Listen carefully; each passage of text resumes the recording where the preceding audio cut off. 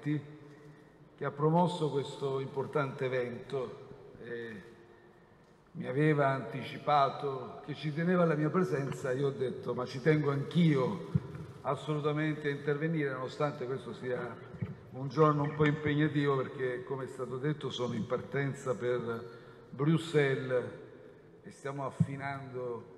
vorrei dire affilando le armi, ma mi sembra una metafora impropria, stiamo affinando la lettura e lo studio del dossier per questo rush finale speriamo che sia nell'interesse di tutti un incontro molto proficuo. E saluto anche ovviamente le ministre presenti, la ministra Pisano, la ministra Catalfo, la ministra Zollina, saluto anche i parlamentari presenti, l'onorevole eh, Boschi e al, ovviamente saluto anche il Ministro, ma questa volta per ultimo perché diamo spazio alle donne, il Ministro Bonafede e un ringraziamento particolare, un saluto a tutti i presenti, a tutte le presenti, ma in particolare anche a tutte le componenti della task force, donne per un nuovo rinascimento, perché so che vi siete impegnati molto. La ministra Bonetti è stata molto cortese perché sin dall'inizio mi ha voluto preventivamente informare su questo suo desiderio di costituire questo gruppo di lavoro e io a dispetto anche di qualche lazzo che era prevedibile, di qualche autorevole opinionista che ci avrebbe contestato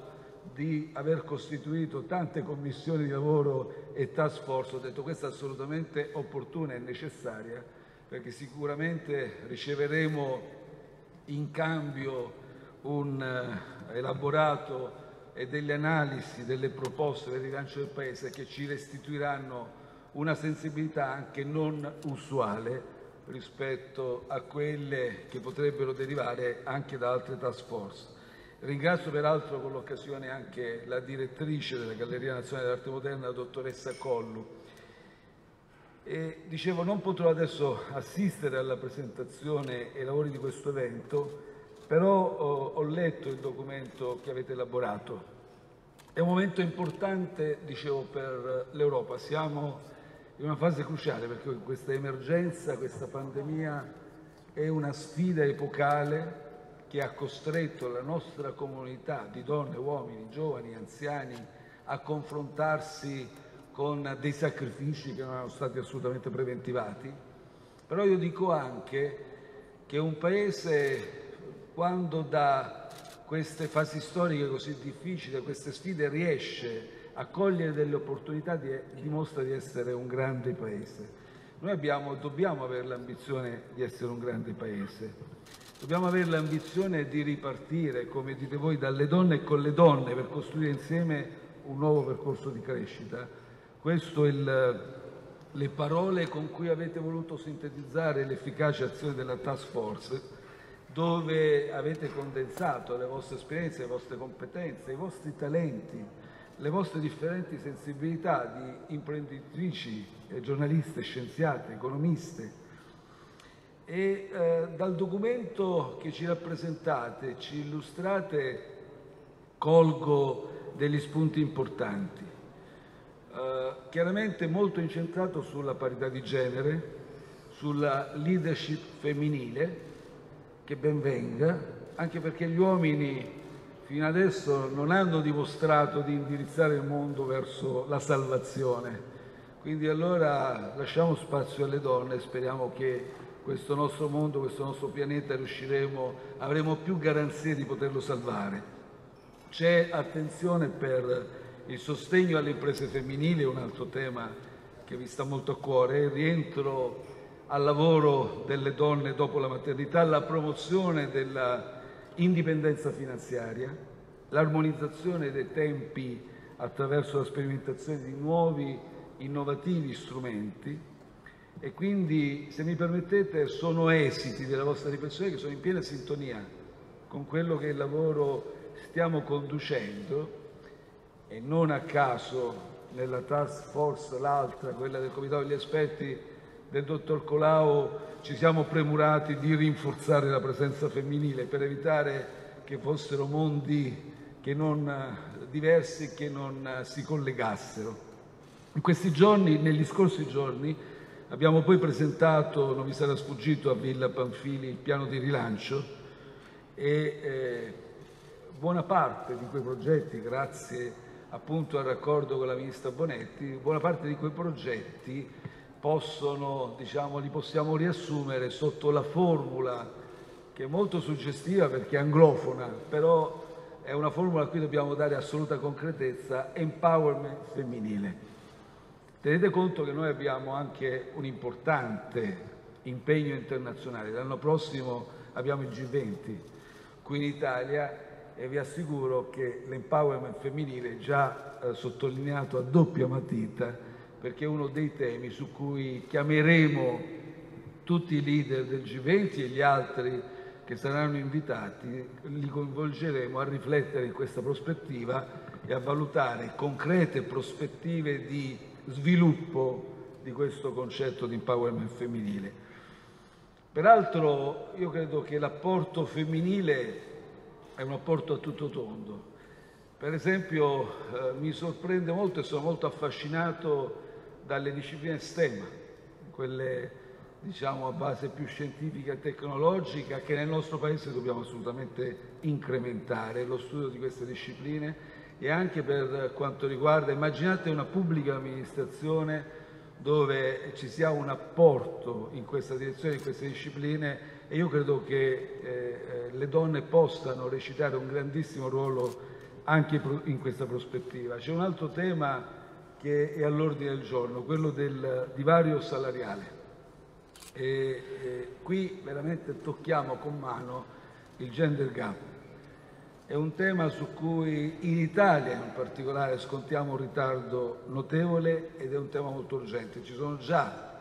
in Parlamento delle proposte di legge per ridurre questa ingiustificabile disparità di condizioni. E nel mio intervento in Parlamento, in occasione anche della fiducia al Governo, avevo espresso chiaramente la necessità di intervenire con adeguati strumenti legislativi sulla parità di genere nelle retribuzioni e confido che questa possa essere una battaglia condivisa all'unanimità da tutto il Parlamento, anche dai maschietti, dai non maschietti, anche se io personalmente non faccio parte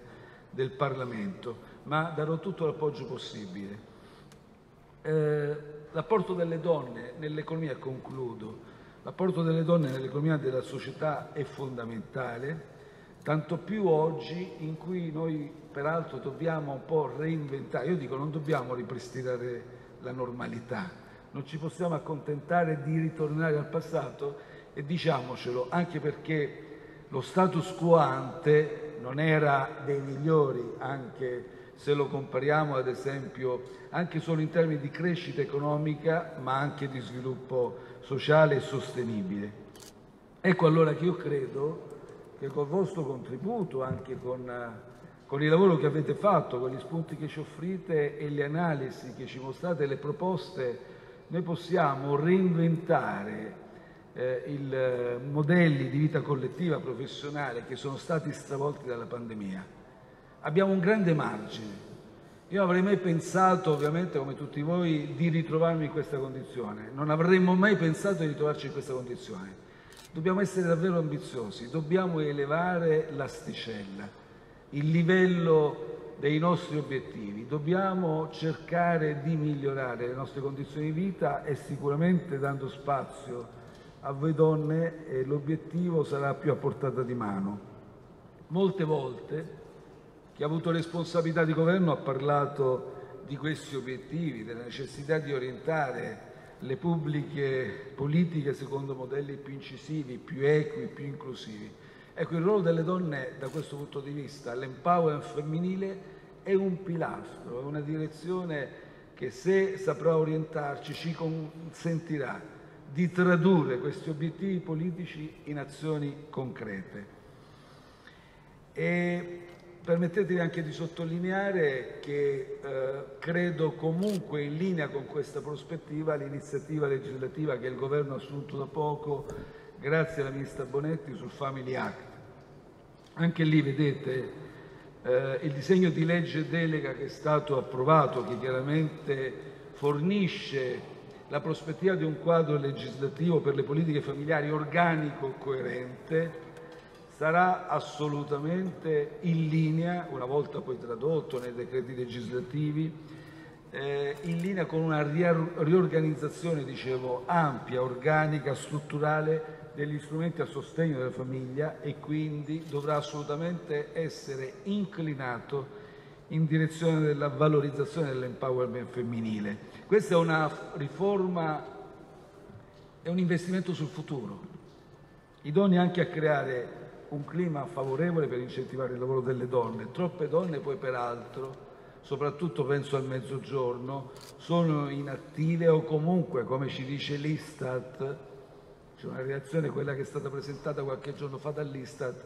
ci dice che purtroppo tra le fasce più vulnerabili della popolazione, da questo punto di vista per quanto riguarda la difficoltà di essere inseriti nel mondo del lavoro o anche di rimanere inattive o di perderlo e non di riuscire a recuperare, grava sulle donne. Sono, e anche l'Istat non, ha, non è riuscita a elaborare appieno tutti i dati per quanto riguarda questa pandemia,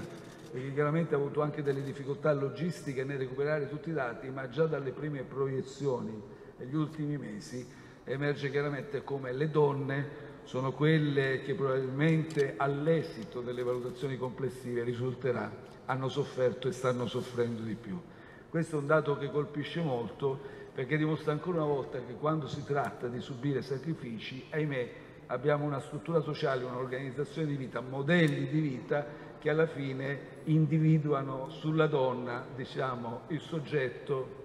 che diventa più vulnerabile, che spesso in modo del tutto quindi discriminatorio eh, eh, sopporta il peso, il grave dei sacrifici più alti. Stiamo lavorando anche col Ministero del Lavoro del Sud, con il Ministro Provenzano che non è qui presente e con la Ministra Catalfo, per rafforzare il piano di rilancio tutti i progetti per favorire l'inserimento lavorativo, in particolare con vari sgravi contributivi delle donne nel Mezzogiorno. Insomma, abbiamo tante idee. Il vostro apporto ci consente di marciare più spediti, di concretizzare questi progetti e vi ringrazio perché diciamo, l'Italia e direi anche la cultura mondiale si è giovata di tantissime donne coraggiose che nel, nei decenni passati hanno combattuto pagando anche di persona per l'affermazione di diritti che oggi consideriamo una volta per tutte acquisiti al patrimonio della nostra civiltà giuridica, ma che eh, sono stati faticosamente conquistati. È un percorso che speriamo di lasciarci alle spalle, nel senso che speriamo davvero di poter considerare questi diritti finalmente acquisiti, ma lo dico anche da giurista, la dimensione dell'effettività dei diritti è quella che conta di più. Non c'è solo il riconoscimento formale, non c'è solo l'affermazione in linea di principio, occorre poi che si dia uno spazio di effettività a questi diritti e quindi da questo punto di vista abbiamo ancora tanto da fare. Insomma, dobbiamo ancora impegnare tante nostre energie per questo nuovo rinascimento, che è una formula che ho visto che a voi piace molto e che è molto in sintonia con il nuovo umanesimo che mi è caro. Tra umanesimo e rinascimento siamo assolutamente in una medesima prospettiva sostanziale. Grazie.